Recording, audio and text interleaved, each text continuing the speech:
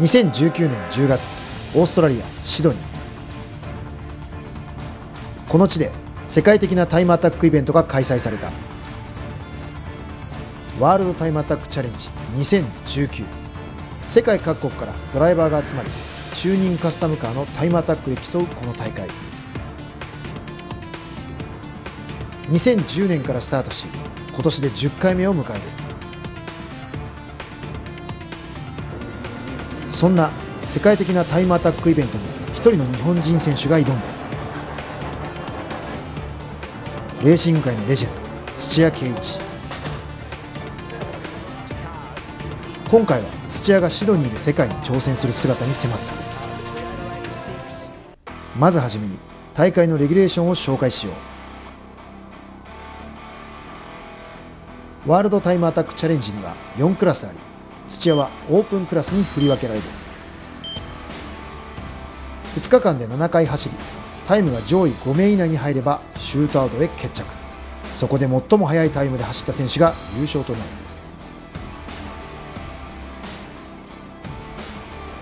本番前日にシドニーに到着した土屋はコース環境に慣れるため練習走行へ。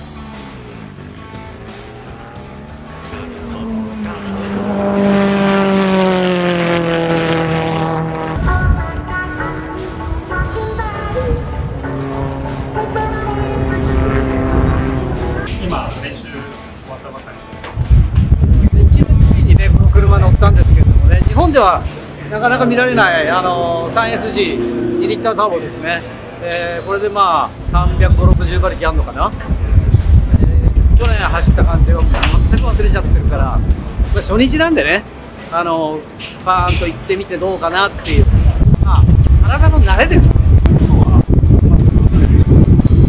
今日はもうこれで終わりですね。だからもう今日はもう本当にあの来たばっかりなんでオーストラリアに。でユーズドタイヤでこう体の慣らしをして明日ニュータイヤを入れて、えー、どんな感じかなっていう流れですね。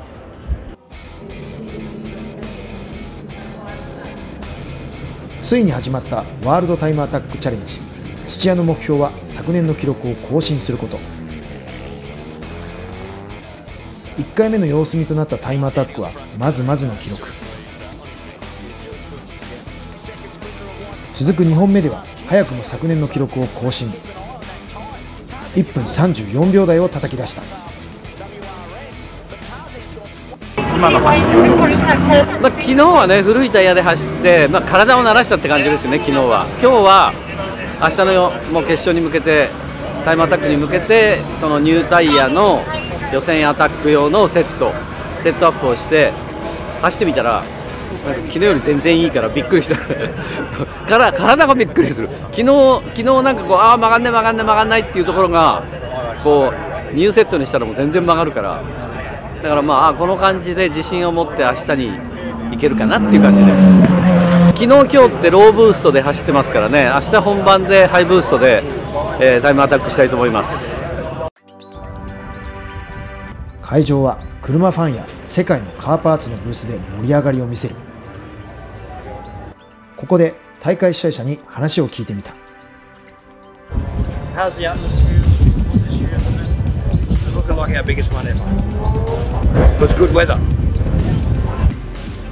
さらに大会のメインスポンサー横浜タイヤの加納さんにも話を聞いてみた。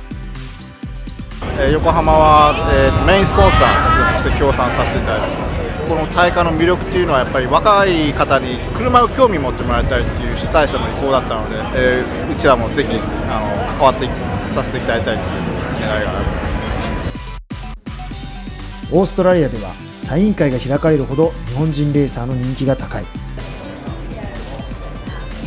このように長蛇の列ができるほどだ。そうですねあのもう10年になるんですよ。でこのイベントが始まった年から出ててでこの、えー、レースで俺2回勝ってるんですよ。でそこからもずっと参加してるんですけどあの、まあ、そういうことで自分にとってものすごくやっぱり大事なイベントですよね。年々やっぱレベルも高くなっていって、まあ、僕なんかもそれに追いつけ追い越せってやってるんですけどなかなか追い越せないなということでもうかれこれ8回目のチャレンジになるんですがあの車の作り方にしても、あのー、とにかくそう考え方をこう変えさせられるような大会であることは間違いないです。ね。はい。ワールドタイムアタックチャレンジ2019最終日。初日は1分34秒894を記録し現在順位は7位。徐々に調子を上げている土屋最終日ベストタイムを更新することはできるのか million bucks. Could you imagine it? Leaf blowers, they're good for so many things, including keeping time attack cars cool, keeping the brakes cool.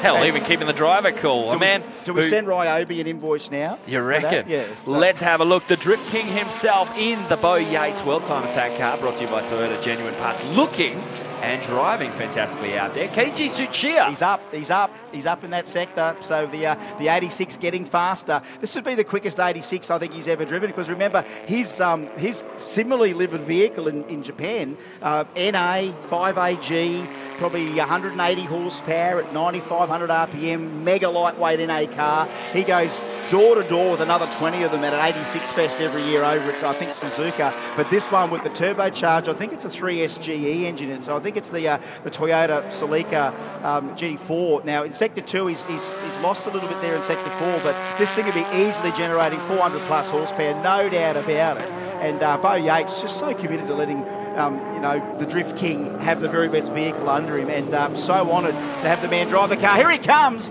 through the start and finish straight. A minute 35. 見事ベストタイムを更新。順位も一つ上げ6位に。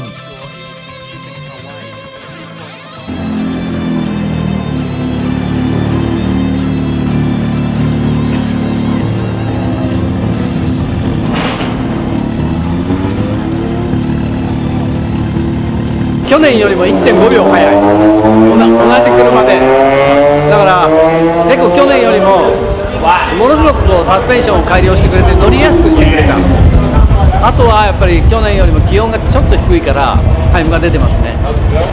すごいさっき喜んでたこの古い86で34秒出ることがやっぱりみんな周りがびっくりしてるからだからチームは大喜びなんですよ。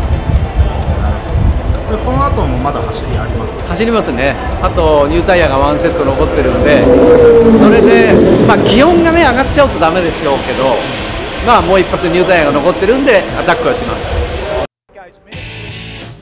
ラストタイムアタックでは土屋が言ったように気温が上がったせいかタイム更新ならず土屋のワールドタイムアタックチャレンジ2019が終わった。オープンクラスの最終結果はこちら。土屋の順位は7位。そしてオープンクラスの優勝は1分28秒114を記録したオーストラリアのブラッド・シールズ選手となった。お疲れ様でした。お疲れ様でした。まああの本当にちょこちょこちょこちょこ毎年あのいじってくれて86をね、えーやっぱり1980年代の車がああいうタイムがね34分っていうタイムが出ることにやっぱこう周りの人たちもびっくりしてるしオーストラリアの人たちもね結構びっくりしてたんでびっくりさせられてよかったかなっていう感じはしますよ。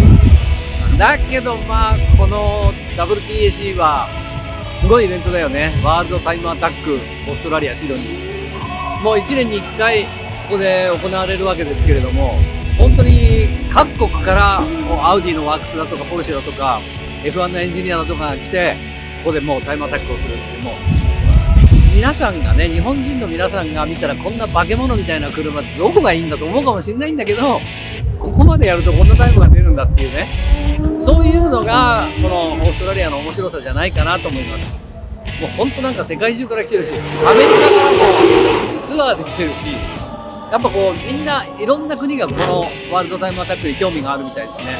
でねもう今年で10回目ということでね、えー僕は3年間ゲストで呼ばれてでパガーニで走ったり圧力で走ったりっていろんなことやってお客さんに喜んでもらってます、えー、皆さんもねよかったらぜひ一度に 年に一度遊びに来ませんか？好成績を残した土屋圭一。今後の活躍にも期待しましょう。さあそして12月7日 e スポーツルーツの最終戦が始まります。皆さんもよかったらぜひ予選に参加してください。総額100万円。誰が取るか見ものです。